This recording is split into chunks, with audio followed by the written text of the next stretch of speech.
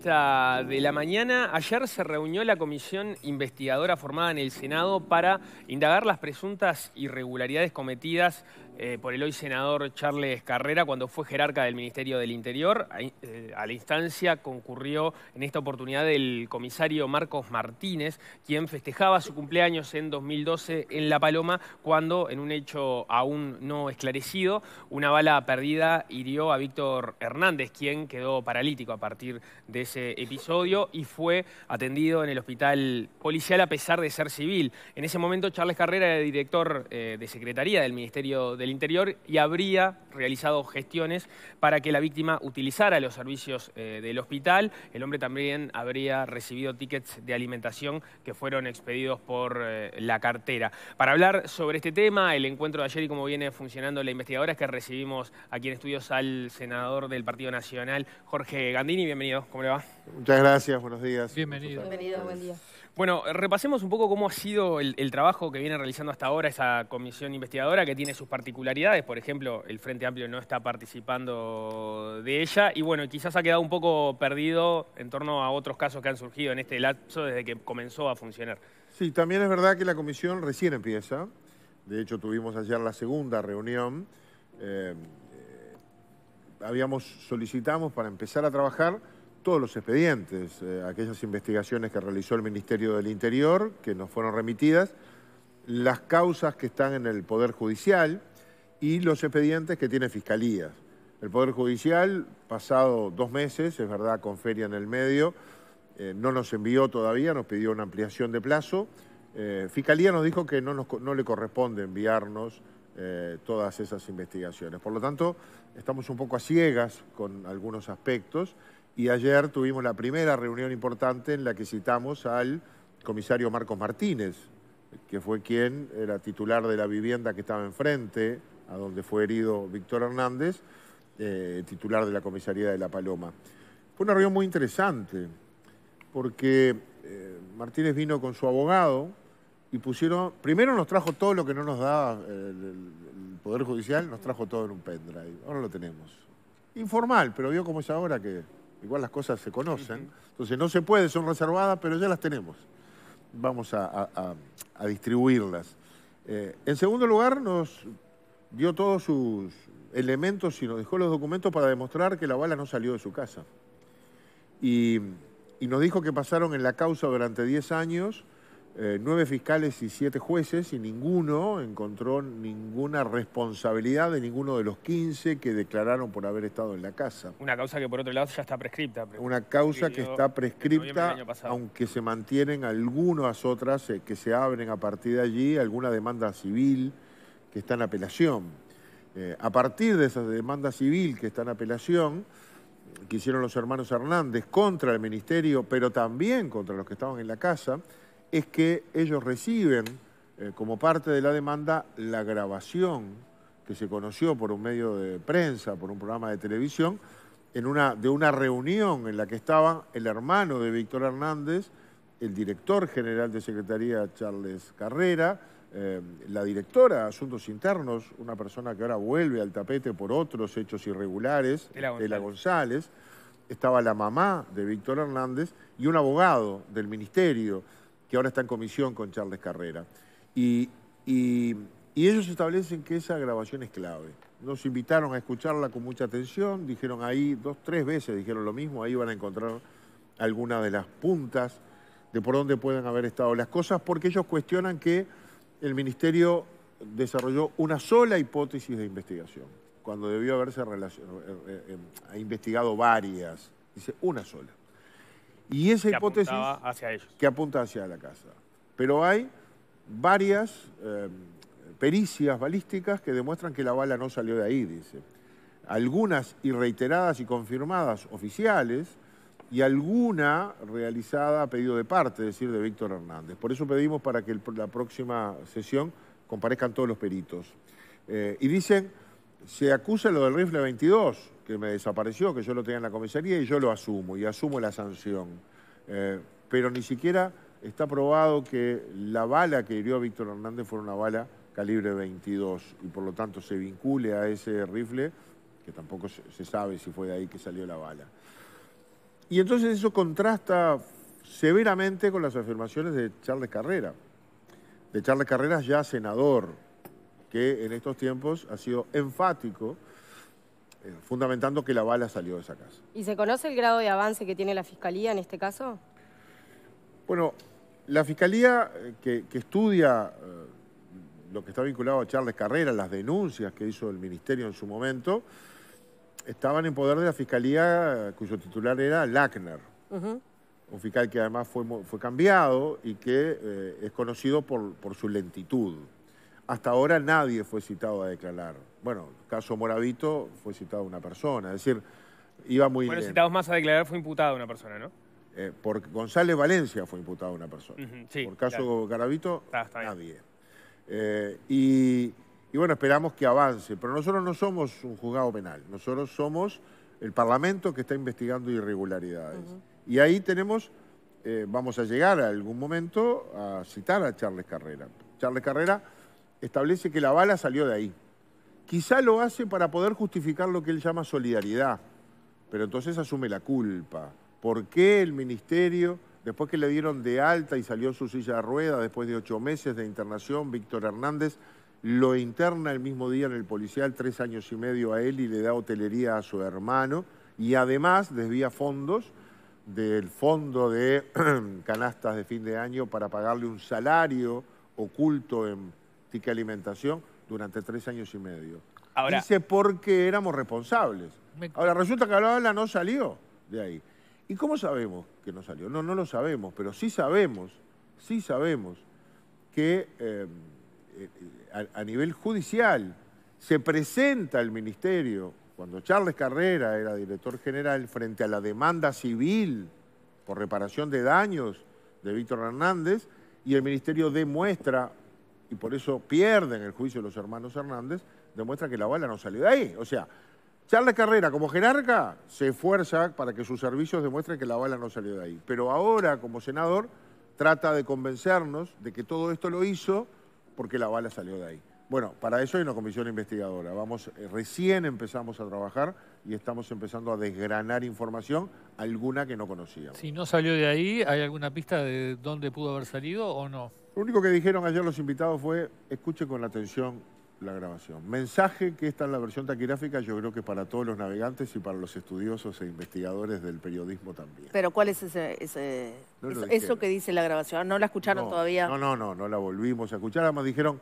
trascendió eh, parcialmente del programa pero no, se la dejamos toda. Lo que pasa, toda la grabación. Lo que pasa es que lo que ocurrió en ese momento, porque nosotros lo trabajamos acá ahora. ¿No las va a dejar para que les... Bueno, lo, tiene la comisión que se comprometió la Secretaría a distribuirla. Teníamos un solo... ¿La grabación de la reunión con Charles Carrera? A esa. Sí, sí, la, tenemos, estuvimos pasando fragmentos acá. Hay que mirarla toda, dice él. Bueno, porque con atención, ahí van a encontrar la La tenemos toda, la tenemos toda. Justamente fue lo que comentamos al día siguiente que salió el programa de Santo y Seña, que en definitiva generó el, ruido. En aquel momento la, la, presentación del tema eh, sugería, y por, por la propia denuncia de los Hernández, la connivencia entre la dirección política del ministerio, Charles Carrera, asuntos internos junto con los policías para encubrirlo y la supuesta compra de silencio a través de eh, estos beneficios que se le dieron a los hermanos Hernández con los tickets y de la y la hotelería. Yo digo que busquen Ahora, por la promesa de que van a ganar el juicio. Ahí está. Eh, es verdad que se habla en ese audio, se habla de una demanda civil. Nosotros le podemos facilitar un abogado, dice, le damos todo. La tesis, de, la, tesis de Martín, no, recuerdo que hayan dicho que le facilitaban un abogado. Un abogado sí, hablan de los abogados de del sur, ¿no? ¿Cómo no? Y le, le facilitan un abogado. Y esa parte de la relación, mírenle con atención, ¿la hace un abogado? ¿La hace un abogado?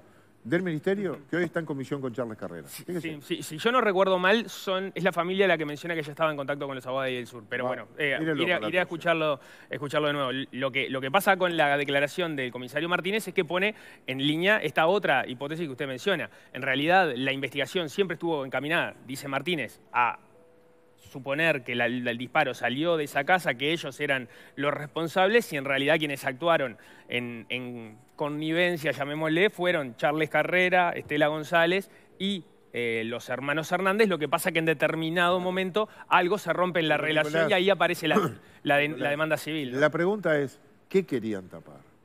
Porque si la bala no salió de la, si la bala salió de la casa, uno puede desarrollar la fantasía de decir, bueno, en esa casa podría haber alguien que no quieren que se entere que estaba, o querían cubrir a la policía. Ahora, si no salió de esa casa, ¿qué querían tapar? ¿Qué, qué, es lo que se buscaba? ¿Por qué Charles Carrera asume esa actitud proactiva y pone en plata? Es más, usted sabe... Sería por lo que dice Charles Carrera, es la convicción de que la bala efectivamente salió de ahí. eso es lo que él Pero después Charles Carrera, que es el jerarca, actúa frente a la justicia desarrollando la teoría de que la bala no salió de ahí y ganan ese juicio. Y el día que ganan ese juicio, la demanda civil, en el 2016, a, partir de que ganan ese juicio, le ponen la camioneta de culata, le cargan las cosas y lo sacan. Se terminó cuando perdieron el juicio civil los hermanos Hernández, los echaron. Los tuvieron ahí hasta ese momento. Y ahí cambian un poco las cosas y ahí los hermanos Hernández accionan un juicio, o, una, apelación de ese juicio. Hay un montón de preguntas que no resisten el sentido común. ¿Por, qué la apelación de juicio si lo habrían ganado? No, no, no, ah, lo gana el ministerio, lo gana el ministerio. Lo gana el ministerio y lo apelan otra vez los hermanos Hernández. hay algunos hechos objetivos. Hernández está paralítico, una bala lo dejó paralítico, estaba en la puerta de su casa. De algún lado salió esa bala, frente a su casa había una fiesta, había muchas personas allí, estaban tomando. Eh, a juicio de Charles Carrera, dice, en esas fiestas habituales había mujeres, había alcohol, dice, y, le, pone contenido y color a las fiestas.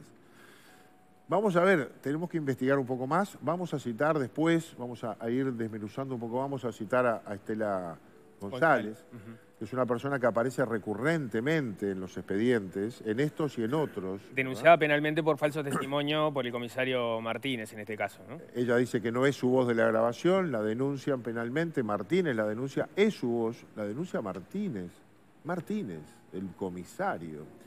Estela Fernández es la que aparece ahora en el otro caso que también tiene, tenía Lagner, que es el de González Valencia, porque mientras Lagner investigaba las visitas de González Valencia a Moravito, eh, pide los DVR, las grabaciones de Cárcel Central, y Estela González, que era la directora de Asuntos Internos, seguía haciéndolo, es quien aparentemente da la orden no de poner un pendrive, sacar las grabaciones y mandárselas, sino que saca los DVR y por lo tanto las cámaras dejan de grabar y esa noche se escapa a Moravito. Y Asuntos Internos sigue después con la investigación. Esa es una cosa curiosa. ¿Quién toma el tema? Asuntos Internos. Y sigue Estela González.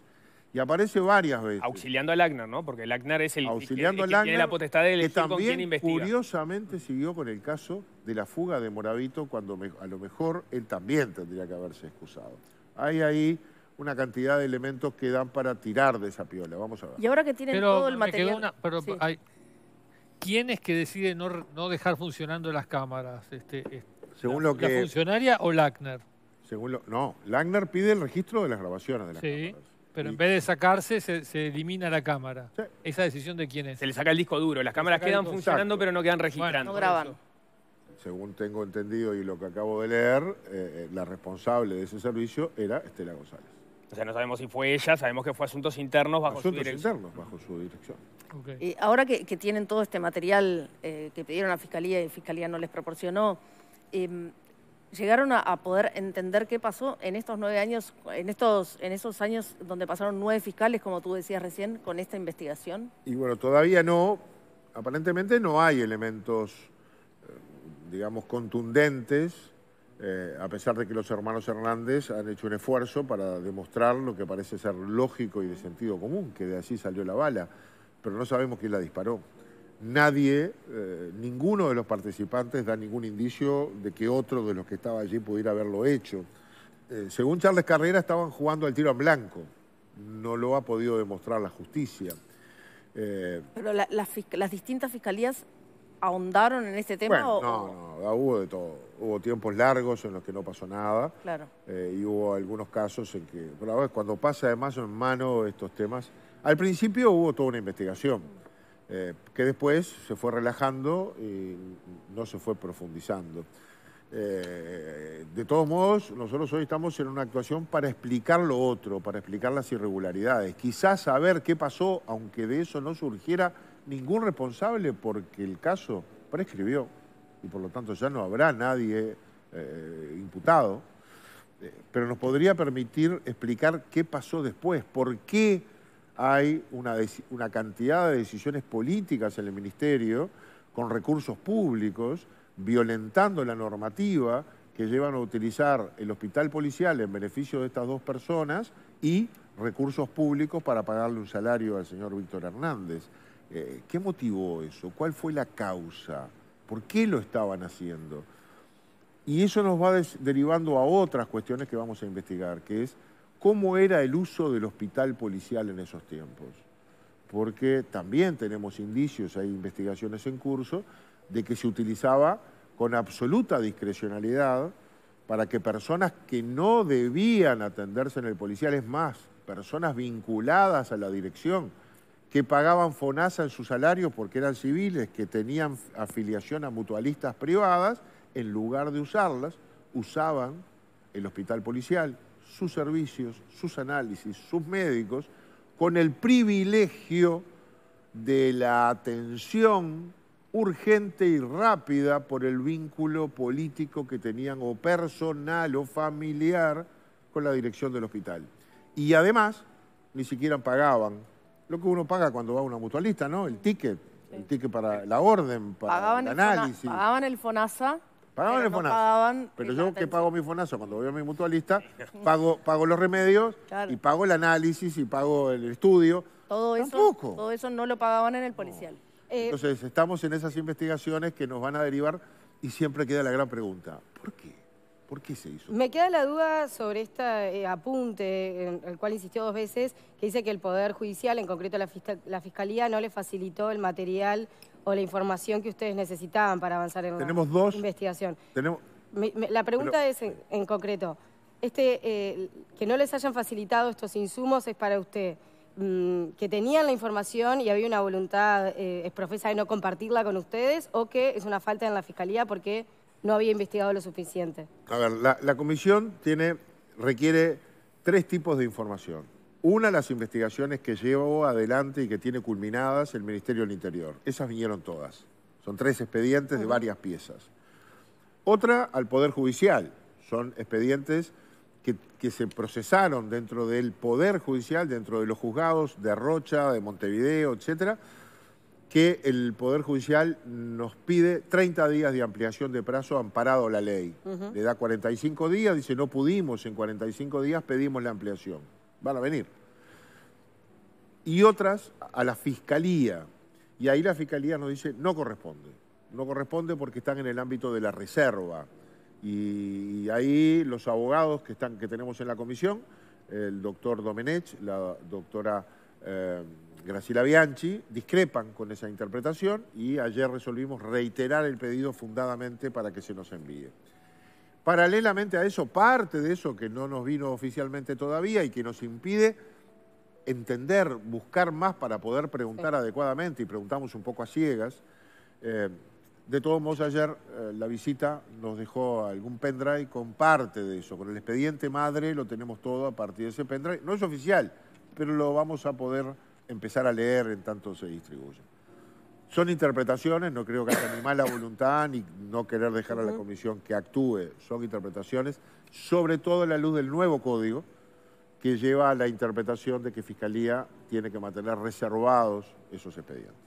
Eh, por lo pronto ya ha ido modificando la hipótesis sobre la que se inició la, investigadora a propósito de que se quería tapar el trabajo de, la responsabilidad de los policías y que actuaron juntos el eh, Charles Carrera, Estela González, junto con los, con los policías, ¿no? Parecería que eso no es así porque uno advierte una cierta discrepancia importante entre los policías que vieron ayer y sus jerarquías. Lo que trataron de demostrar ayer es que las jerarquías actuaron contra ellos, no con ellos.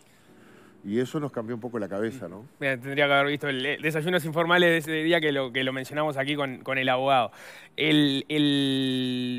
los indicios a propósito del accionar en el hospital policial, ¿ustedes tienen más indicios a propósito, al margen de esta situación? Entonces, sí, claro, claro, claro. ¿Y, refieren a cuántas personas? ¿Qué tipo de personas? Muchas. Todas vinculadas al MPP. Mire lo que le dije. Sí. Y a políticos. Y usted entiende que eso tiene que ver también con... Tiene que ver con la eh, discrecionalidad con la que se Parte de lo que se señala respecto a los, a los hermanos Hernández, digo los hermanos porque los que estaban en el hospital eran, eran los dos, este, Víctor y, y- y su hermano, en algunos casos se señala que tenían también vínculos con el MPP. De hecho, Claro. si no me equivoco, quien, quien acerca a el caso al ministro del Interior, Luis Alberto Heber, en su momento, es el alcalde en su momento de, de La Paloma, ¿no? Exactamente, es quien le plantea. ¿Usted conoce el caso de eh, los hermanos Hernández? Le dice a Heber en enero, cuando Heber va en algunas camionetas, qué sé yo, y ahí Heber cae en la, en la cuestión, no, no lo conocía. Ahora, eso fue nueve meses antes de que el audio saliera y de que Heber presentara la denuncia. También la Rañaga estuvo al tanto de este audio. También la justicia estuvo al tanto de este audio. Desde durante 2016, muchísimo- Desde el el audio 2016 lo tiene la justicia. ¿Por qué, si es tan gravosa la situación o tan elocuente el audio, ni la justicia hizo nada desde 2016, ni la Rañaga en su momento, ni Heber durante nueve meses? No lo sé. Eh, yo creo que Heber no lo conocía, no conocía el caso. Heber lo conoció en enero, ¿no? O por lo menos ahí es Bueno, cuando se a registra ahí, el encuentro. bueno, a partir de ahí está- empieza a pedir la investigación. Él toma en contacto con el alcalde, le dice yo ahora no puedo recibir a esta persona, tengo una agenda, no sé qué, pero vuelvo en unos días, vuelve en unos días, va a la comisaría y cuando sale a la comisaría se encuentra con Víctor Hernández en su silla de ruedas. Víctor Hernández le cuenta la situación, vuelve al ministerio y pide la investigación.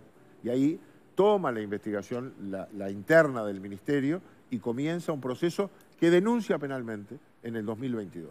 Y ese es uno de los expedientes que está en curso hoy en la justicia. Sobre Ahora- eso, sí. ahora, Tenemos una persona que está paralítica, Sí. Un balazo que, usted lo dijo recién, lo más probable y la única opción que hay, no hay, no hay otra, otra explicación, es que partió de esa casa, había una fiesta organizada por un comisario, el comisario sigue prestando servicios en la policía, de hecho era comisario en Lascano, no recuerdo si en, o en Velázquez. en Fue algún- ascendido, fue Fue ascendido, ascendido. por la Rañaga, eh, fue degradado, eh, tomábamos con- conocimiento ayer por Bonomi, cuando presentó la, la denuncia, cuando a él lo demandan eh, civilmente, ellos presentan una denuncia. Y en esa denuncia involucran a las autoridades y entonces lo degradan. Eh, va dentro siempre del departamento tomando distintas responsabilidades. Cuando llega la Rañaga, en aplicación de su foja por designación, eh, le da el grado de comisario. Hoy está la jefatura de Rocha al frente de la tarea administrativa, digamos, de, la dirección administrativa. Por ahora eh, es un comisario que no tiene afectación Ajá. porque nada se ha demostrado de él, salvo las dos sanciones que se le pusieron por la desaparición del rifle no denunciado y por lo que llaman omisión de asistencia de esa noche, que la tiene recurrida ante el TCA esa sanción, porque él sostiene que se le aplicó indebidamente. O sea, Hay, una discusión sobre si se escuchó o no se escuchó Exacto. el disparo esa noche y bueno, y ahí cabría o no el lugar la Y bueno, hay uno de los participantes, Matías Abreu, que dice, yo le comenté que escuché un disparo y quejidos en la vereda de enfrente. Y el comisario me dijo, eso es una joda, es muy bromista el vecino, métanse para adentro, qué sé yo. Lo que dice Martínez es, yo no le dije eso. Yo no, le- yo no escuché el disparo y no le dije eso. Discute ese testimonio. Ahora, para, terminar el resumen, ahí va, tenemos una persona que quedó paralítica, un balazo, un lugar donde parecería que tendría que haber salido, pero la, nueve fiscales y no sé cuántos jueces y la policía no logran demostrarlo. El, el- el balance para el ciudadano que está mirando es preocupante por todos lados, porque estamos regalados, digamos. ¿no? Totalmente. Por eso hay que investigar ah, para que no vuelvan a pasar estas cosas y saber por qué pasaron eh, y establecer las causas, las causas del por qué hubo toda una motivación para que se tapara todo lo que ahí pasó, porque fue tapado, no se investigó adecuadamente. eh, las pericias, bueno, vamos a investigar ahora cómo se hicieron, pero están también discutidas. Ahora, cuando usted dice está tapado, ¿es en, base a qué? Porque es clarísimo que la justicia y eventualmente la fiscalía no avanzaron sobre el tema, pero usted vio que hubo acciones deliberadas para eh, que esto no, no llegara a, a ninguna resolución. Digo, porque, porque si, si nos ponemos en la... En la- Nicolás, yo soy hijo del sentido común. Si después, si, si el señor Víctor Hernández lo atendió a la ambulancia, lo derivó, lo internaron donde debía, que era su prestador en el hospital de clínicas, estuvo ocho meses, le hicieron fisioterapia, lo operaron, casi se muere además en el camino, y sale un día, ocho meses después, en su silla de ruedas y está, va para su casa, yo no tendría más sospechas que las que puedo tener en cualquier caso donde la justicia por algo no llega y diría, bueno, acá los abogados metieron, qué sé yo, vaya a saber. Lo que no cierra es que después aparece el Estado o aparece ahí adentro mismo, le dan plata del bolsillo primero, le prometen futuro y se lo dan, baja ese día del clínica del edificio, está Charles de Carrera y se lo lleva y lo interna en el policial, estando dado de alta lo mete tres años y medio a él y el hermano le adulteran su condición de civil y lo ponen como suboficial mayor para que pudiera estar adentro, tener todos los servicios y no pagar nada, y le dan a su hermano una sala del mismo tipo, tres años y medio, y además le pagan. Bueno, el por qué eso me lo tiene que explicar. Porque pero eso, eso no, tapa la investigación. Tapa todo, porque si el ministerio fuera culpable, lo que tiene que hacer es indemnizarlo. Y punto. Perdí un juicio civil, lo indemnizo y se acabó el partido. Y no tengo que andar sacando plata de un cajón escondido para dárselo. Y el tesorero todos los meses tiene que decir, deme la orden. Porque está mal. ¿Y sabe qué hizo el tesorero? Se guardó todos los recibos, todas las órdenes, mes a mes de echarle carrera porque sabía que estaba haciendo algo. Y cuando Asuntos Internos en el 2022 lo fue a investigar al tesorero, el tesorero dijo, dijo, no, momentito. Abrió el cajón, le dijo, acá están las órdenes. ¿Por qué? Porque sabía que estaba haciéndolo mal. O sea, no lo indemnizaron. Le fueron en contra con un juicio civil, lo tuvieron tres años y medio de, de boca cerrada, internado y encerrado en un hospital mientras le pagaban por el costado. ¿Por qué? Yo no, no, no, no le, estoy tengo la respuesta, ni siquiera tengo una hipótesis de respuesta. Lo que, lo que sí le señalaba era que no necesariamente eso inhibe la acción penal y que se llegue a una investigación y a un resultado respecto a quiénes fueron los responsables de, de, delito, ¿no? Ah, pero cuando yo tengo lo otro por el otro lado, puedo suponer que también van a obstaculizar la acción penal. Dejo de lado, pero no sé si lo repitió ayer eh, el, propio Martínez, aquí Ángel Sosa, su abogado, dijo sí que había una pericia que eh, se había intentado cambiar por parte de Asuntos Internos.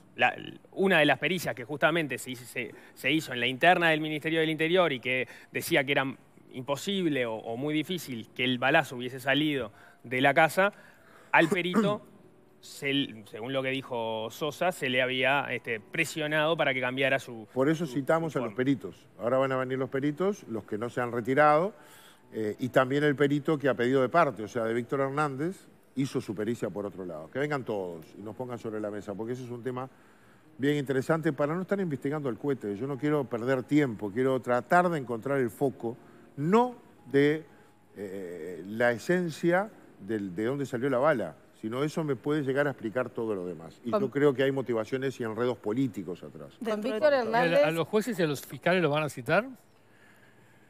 No está planteado. Todavía no lo tenemos. Es una parte central de, la historia. A ver, deme alguna idea. Y bueno, porque si estamos que no investigaron, si investigaron mal o, o, si, si, fueron obstaculizados, si quisieron avanzar y no los dejaron, o si por algún motivo no quisieron avanzar. Me parece que sería importante hablar con ellos, ¿no? Si logra una declaración de Lackner, dígale que lo estamos haciendo, este, persiguiendo para hacerle alguna entrevista. Tengo algunas dudas eh, sobre el tema del uso del hospital policial que, dijiste que van, a, que van a ir por ese lado también. Dijiste que lo usaba muchísima gente, todos del MPP. ¿Tienen identificada ya toda la gente que lo utilizaba? Está en investigación. Mm. Yo tengo algunos elementos bastante fuertes este, quizás haya más. Pero estamos hablando de personas que pertenecen al sistema político, estoy hablando de diputados, senadores. Que adulteraron su condición de civil, como recién mencionaba. Van bien rumbeadas. O sea, hay personas integrantes de un... Ya sabemos, hay que recordarlo nomás, pero ya sabemos que Charles Carrera asumió su función el primero de marzo del 2010. Y sabemos que el 13 de marzo unos días después, su esposa en aquel momento, eh, usuaria afiliada a una mutualista muy importante en Montevideo, ingresa al hospital policial bajo una carátula de esas que yo recuerdo que en la época de mi madre se usaban. Mm, primer nombre, segundo nombre, primer apellido, segundo apellido, de Carreras. El de Carrera es viejo pero es lo que indica que es la esposa del jefe. Esa es la carátula de un largo uso del hospital policial. Esto no estoy dando primicia, ya se dijo, se olvida, pero se dijo y está bajo investigación. Es la primera y no es la única de más de dos años de uso ininterrumpido del hospital policial sin ningún derecho, porque no tiene derecho Charles Carrera por ser civil, ni mucho menos su esposa. ¿Y a ella se le adulteró la condición de civil?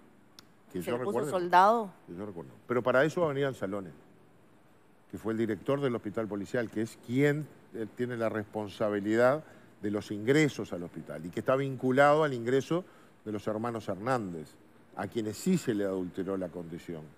Y me consta que hay algunas otras adulteraciones también.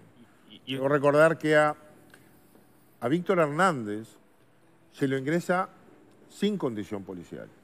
Cuando ingresa ahí, cuando sale de clínica, si ingresa, ingresa. Cuando llega a fin de año, con vehículos y recursos públicos, se lo envía a pasar unos días a su, casa en La Paloma, a él y a su hermano. Cuando vuelven, y vuelven a ingresar eh, los primeros días de enero del año 2013, eh, o 14, me acuerdo, el primer, primer verano, ahí se le adultera la condición e ingresan como policías. Recordemos que en esa grabación Charles Carrera le dice que no se sepa la condición que ustedes tienen, los estamos ayudando aunque no tenemos ninguna obligación, pero no se puede saber que ustedes están internados ahí no siendo policía, porque está al margen del derecho, fuera del derecho, una cosa así. No es acorde a derecho, creo. ¿Eh? que no es dice- acorde a derecho. Eh, es decir, se estaba utilizando eh, el, el Estado para otra cosa y hay otros casos similares. O sea, que no tienen nada que ver con Víctor Hernández, pero uno saca la tapa y encuentra otras cosas. Eh, y debo decirlo también que la moral de eh, nuestro compañero Luis Calabria dejó la vara muy alta, ¿no? Porque terminó renunciando al ministerio porque se hizo un hisopado y porque fue a ver Una consulta Al oftalmológica. consulta oftalmológica que le mandaron un remedio que ni siquiera sacó, lo fue a comprar a la farmacia. Eh, pero entendió que estaba mal y renunció. Bueno, eso a mí me motiva mucho para estudiar a ver cómo se eh, usaba el policial. Y empiezo a tirar y a tirar y a tirar, a tirar y voy encontrando. Viene el saco, tiro y sale papelito y sale papelito. Y el episodio ese en realidad no demuestra que si bien era irregular, no estaba tan claro y el límite era medio vidrioso y bueno, y las consultas se hacían este, de todos modos, porque claro, una vez que explotó el tema Charles Carrera y se miró para atrás, aparecía esta consulta de ¿Sabe lo parte que a mí me da? Que Jorge Vázquez, que era su secretario, nunca lo usó, ni su familia, ni sus allegados, ni su secretaría. Que Daisy Tourné nunca lo usó ni ella, ni su entorno, y Daisy tuvo problemas de salud y nunca lo usó. Que no lo usó José Díaz, es decir, no era una práctica habitual ni lo es ahora. Fue una práctica del gobierno del ministro Bonomi, de su entorno y de su gente, y de sus secretarías y de sus cargos de confianza.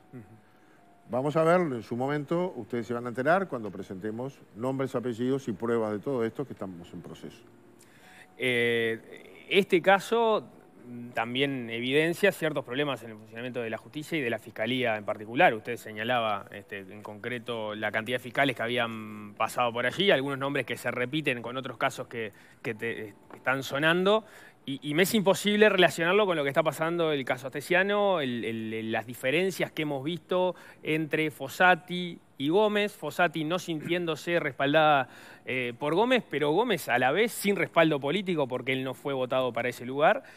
Entonces ahí yo, la pelota también me pregunto si no está de, de parte del sistema político que no ha logrado resolver el, el- el tema de, de la fiscalía, no ha logrado lo- los consensos ni los recursos. En este caso veíamos, leíamos recién un comunicado de- de- del propio Gómez señalando que faltan recursos para el funcionamiento de la fiscalía. No, no hay un, un debe grande ahí en resolver claro. esa situación. En el régimen anterior los fiscales eran ilustres desconocidos, eran los titulares de la acción penal. En el régimen anterior, si el fiscal pedía un archivo, había que archivar, o si no accionaba, no se accionaba. Pero eran como la parte más oculta o desconocida del proceso. En esta etapa, la fiscalía, con menos recursos y menos experiencia, con este nuevo régimen, los fiscales se transformaron en la parte importante. Eh, actúa, actúa, actúa el fiscal, el fiscal muchísimo y el juez al final. Fuera de la causa es más juez, pero no tiene el protagonismo del fiscal. Y el sistema aparentemente es- tiene ciertos huecos, cier- cierta porosidad, que hace que las fiscalías reciban, eh, por su propia exposición pública en los temas, eh, presiones de toda naturaleza, naturales. Al estar ya en la opinión pública, en debate algún tema, generan presiones que las fiscalías no siempre pueden manejar adecuadamente. Y yo creo que algunos de estos temas han tenido mucho que ver con eso. Eh, ah, debe haber un problema de recursos, pero coincido que hay un problema político detrás, que es nuestro. No nos hemos puesto de acuerdo para eh, darle el respaldo político a la primera figura del fiscal de corte. Es decir, el fiscal de corte es un cargo de particular confianza del sistema político, no del gobierno, del sistema político. Y el sistema político no le ha dado su confianza, porque si le hubiéramos dado su confianza tendría los dos tercios que requiere y no los tiene. Y entonces está de casualidad ahí. era el suplente y ahí quedó.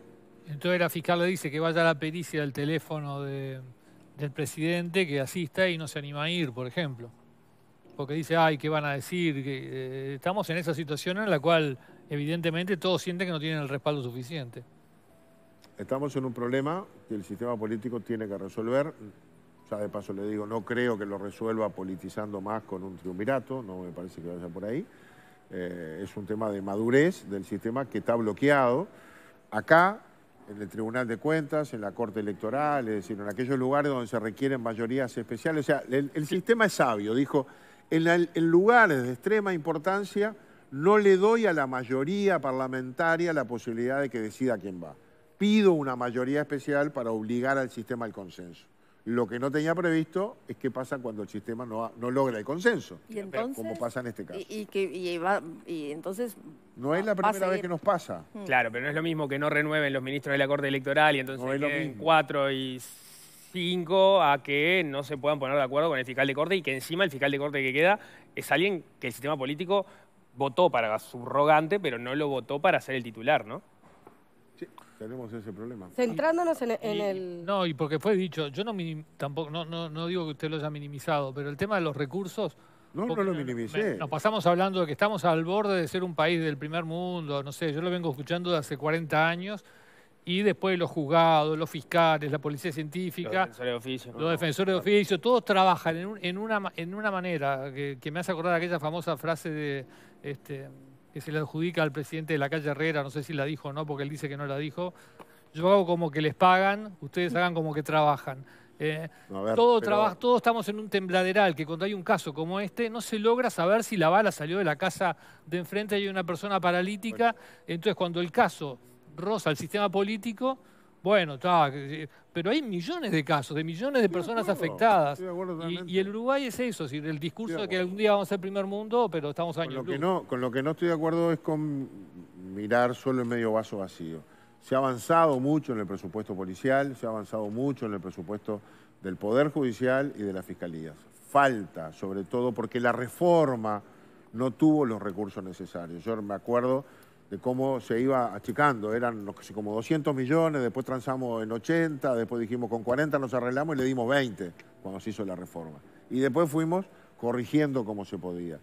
Aparecen recursos en cada rendición de cuentas para arreglar un poquito acá, pero vamos muy de atrás. Y el sistema requiere todavía más recursos, pero bueno, los recursos son finitos y mirado los problemas de distintas ópticas también hay otras cosas urgentes. Entonces, bueno, este, creo que ahí hay un problema también que tenemos que ir corrigiendo.